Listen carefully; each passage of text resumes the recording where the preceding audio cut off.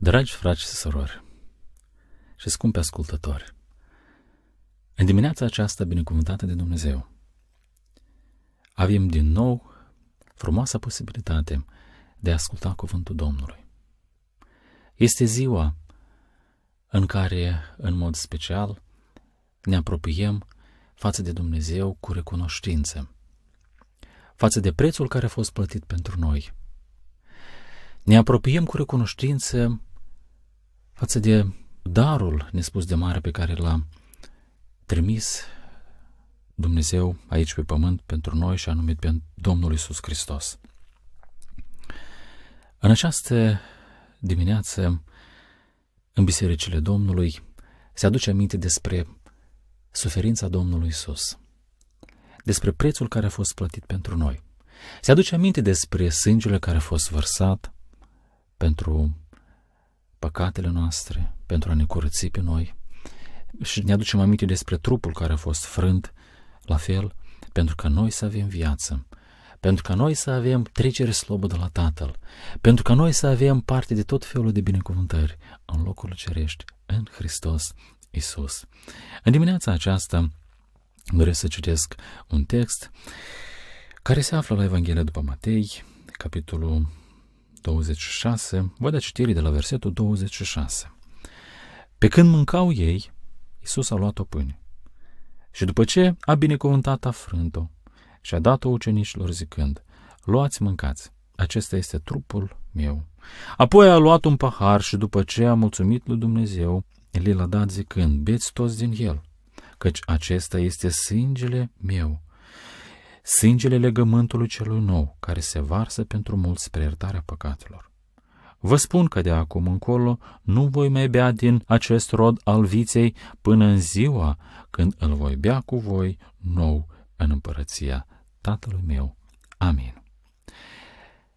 Mi-am intitulat predica din această dimineață privind la pâine și la pahar. Cartea Faptele Apostolilor, capitolul 2, de la versetul 42, ne vorbește despre aceea că cina Domnului era la baza bisericii primare. Apoi, în 1 Corinteni, capitolul 11, versetul 17, iarăși vedem că Apostolul Pavel abordează acest subiect, arătând bisericii din Corint care trebuie să fie atitudinea lor față de această lucrare. Și de fapt era o problemă. La început, începutul a fost bun. Dar a ajuns vremea când această lucrare la care recurge Apostolul Pavel să le o lămurească din nou cum trebuie este făcută, așa după cum cere Dumnezeu, la versetul 17, 11, capitolul, spune Apostolul Pavel, vă adunați ca să vă faceți mai răi, nu mai buni. Vedem că în biserica din Corint ceva s-a întâmplat deja nu mai aveau acea atitudine deosebită față de această lucrare, cina Domnului. Și haideți în dimineața aceasta să vedem ce vedem noi atunci când privim la pâine și la pahar. Ce vedem noi atunci când înaintea noastră stă pâinea și paharul? Pentru cineva, privind la pâine, poate să-și închipuie că cineva cu o măestrie deosebită a făcut această pâine, a copt-o, poate din mai multe a ales-o pe cea mai frumoasă și a adus-o aici în față și este frumoasă și toți privesc la această pâine și se minunează. Ce mâini de bace, ce mâini au făcut această pâine. Dar cineva privește la pâinea aceasta și vede cu totul altceva. Cineva privește la pahar și vede într-un fel lucrul acesta, dar cineva privește la pahar și vede o lucrare deosebită prin semnul acesta. Privind la pâine și la pahar, vedem camera de sus, unde stau Iisus cu ucenicii. Și în această cameră, ucenicii primesc o poruncă nouă. Și Evanghelia după Ioan ne descrie cel mai detailat ceea ce s-a întâmplat în camera de sus.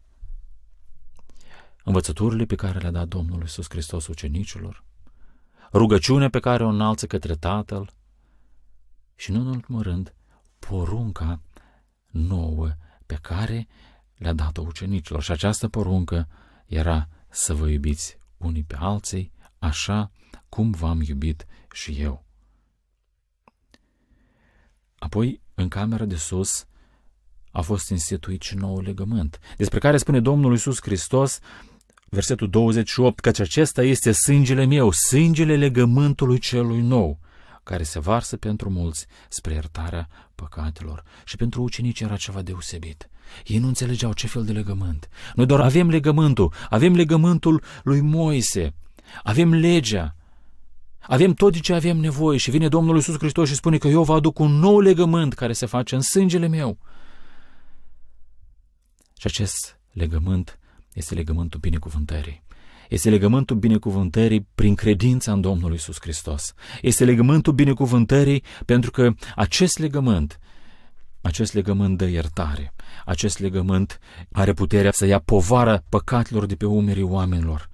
Slăvit să fie Domnul pentru noul legământ care a fost însetuit prin sângele Domnului Isus Hristos, privind la pâine și la pahar.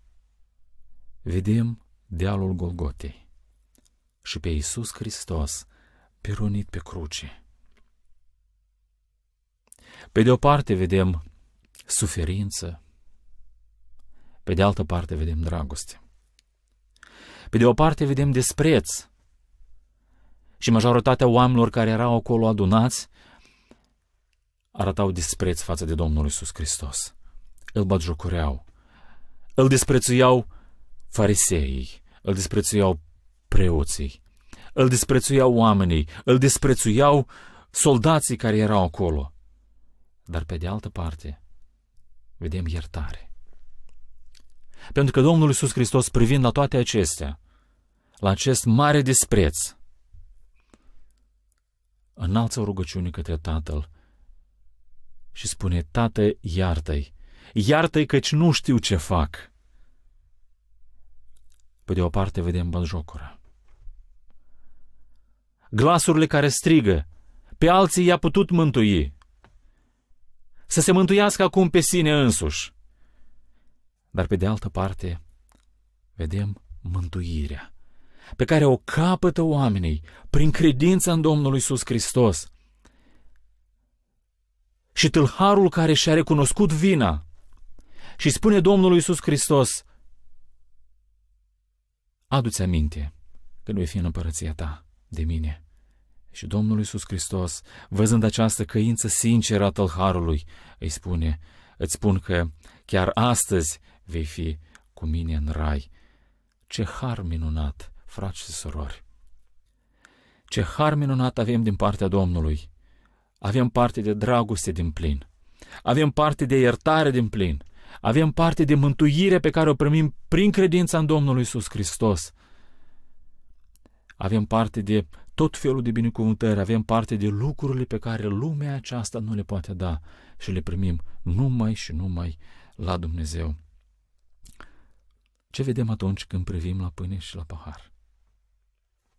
Când privim la pâine și la pahar, lucrul acesta ne motivează să ne vedem cum stăm înaintea lui Dumnezeu. Cum este viața noastră înaintea lui Dumnezeu? Privim lucrul acesta, privind la pahar, venim cu căință. Pentru lucrurile care nu sunt plăcute înaintea lui Dumnezeu, dar le-am făcut. Poate nu am gândit așa cum trebuie să gândim, nu am vorbit ceea ce trebuia să vorbim, nu am procedat așa cum ar trebui să procedăm, cum cere cuvântul lui Dumnezeu. Și venim cu căință, gândindu-ne cum stăm noi înaintea lui Dumnezeu venim înaintea Domnului plini de recunoștință. Și la Efeseni, Apostolul Pavel, capitolul 2, vorbește și spune că noi eram morți în greșelile și în păcatele noastre în care trăiam odinoară. Dar mulțumiri fie aduse lui Dumnezeu care prin Isus Hristos ne-a izbăvit. Prin Isus Hristos ne-a făcut o făptură nouă. Prin Isus Hristos am primit mântuire în dar, viața veșnică. Când privim la pâine și la vin, vedem cum stăm noi la capitolul recunoștinței. Suntem noi gata la orice pentru cel care a murit în locul nostru. Suntem noi gata pentru orice. Suntem noi gata să stăm la dispoziția celui care a murit pentru noi și a înviat tot pentru noi și acum stă la dreapta Tatălui și mijlocește pentru fiecare dintre noi, Domnul Isus Hristos. Și Domnul Iisus Hristos este Cel care dorește ca noi să stăm la dispoziția Lui, El să se poată folosi de noi în lucrarea sa măreață de propovăduirea Evangheliei. Frați și surori, în dimineața aceasta, înaintea noastră stă pâinea și vinul. Ce vedem noi atunci când privim? Dacă vedem camera de sus,